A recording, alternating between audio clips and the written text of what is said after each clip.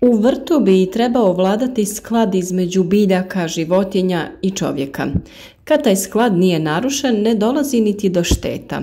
No kad se sklad poremeti, štete, uključujući i ove od puževa, mogu biti znatne. No uvijek postoji alternativa, čitav niz ekoloških mjera koje bi trebalo provoditi u borbi protiv puževa.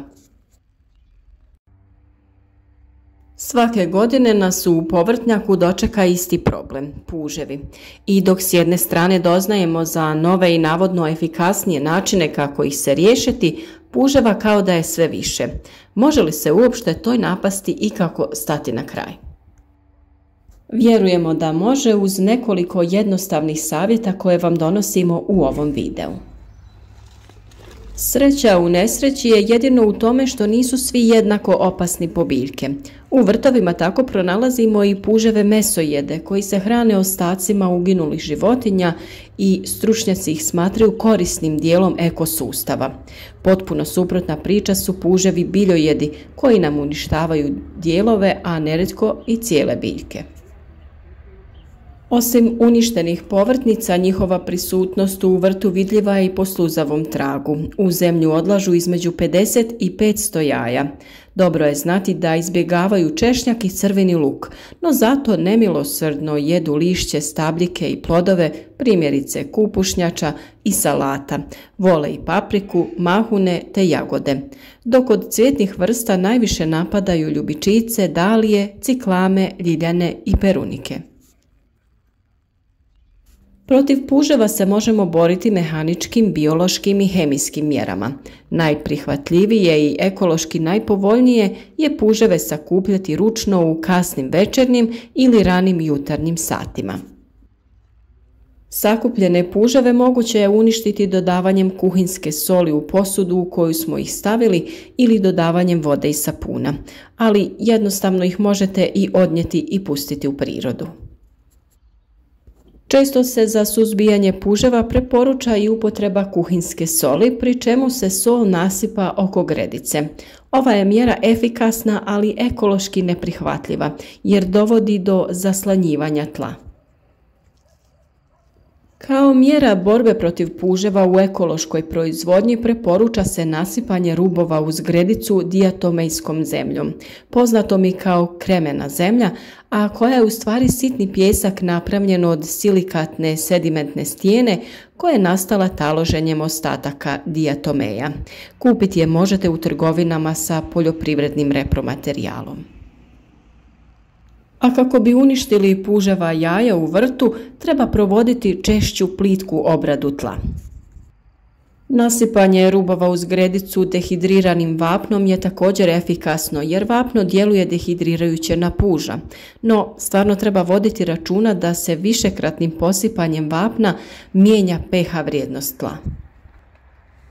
Za ulov puževa mogu se koristiti i trapovi i lovne posude. U večernjim satima treba postaviti dasku na stazu u vrtu, ujutro dasku treba podići i sakupiti puževe.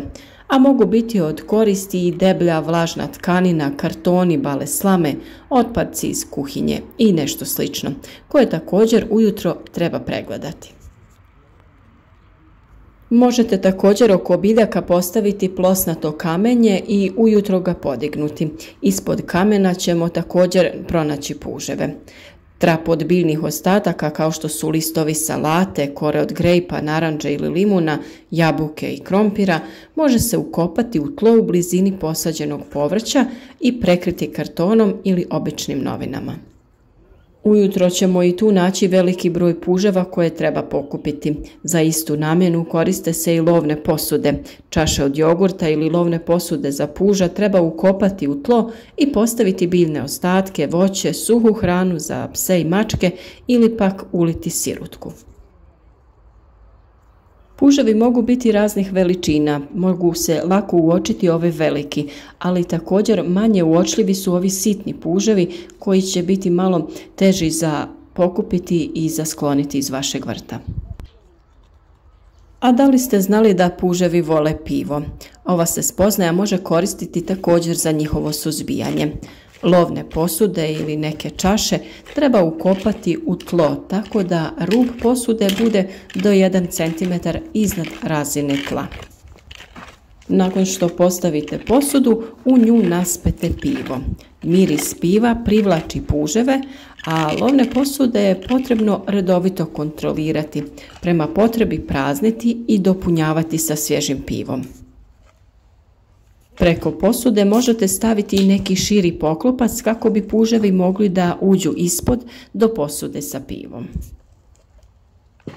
Sa puževima nećete imati problema ako u vrtu imate krticu ili ježa. Krtica je zakonom zaštićena životinja, ona se hrani gusjenicama, puževima i drugim vrstama beskičmenjaka. Problem predstavljaju nakupine zemlje koje ona izbaci izlazeći na površinu, ali ipak krtica je izuzetno korisna. Jež je također radoviđen u povrtnjaku. Omiljena hrana su mu puževi, miševi, drugi glodavci i kukci.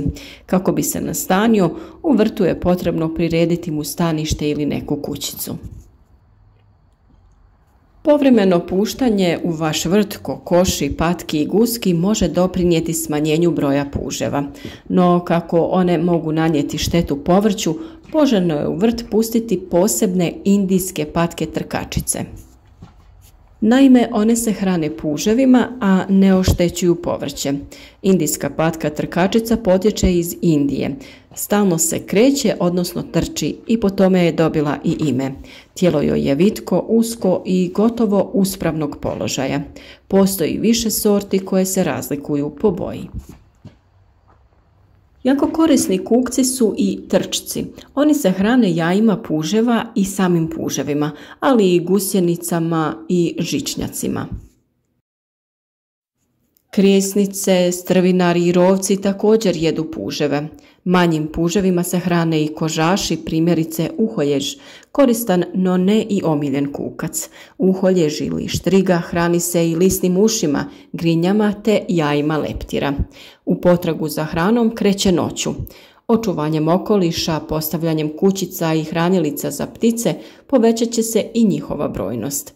Ptice koje se rado hrane puževima su bijela pastirica, slavuj, crvendać, drozd i čvorak. A puževe možete probati zadržati van vašeg vrta sa biljkama koji oni baš i ne vole. Posebno im nisu drage biljke koje imaju sjajan dlakav list ili pak list prevučen voštanom prevlakom, a od povrtnih vrsta izbjegavaju češnjak i crveni luk. Stoga je dobro i oko ruba gredice posaditi spomenute vrste, a unutar gredice lisnato povrće. U vrt treba saditi biljke koje svojim intenzivnim mirisom odbijaju puževe, primjerice kumin, kadulju, gorušicu, paprat, ricinus, timijan, hren, dragoljub i mak. Osim sadnje navedenih biljaka, gredicu je dobro prekriti i sa listovima spomenutih biljaka. Uz gredice i u njih dobro je saditi i biljke mamce koje privlače puževe. Jedna od njih je kadifa.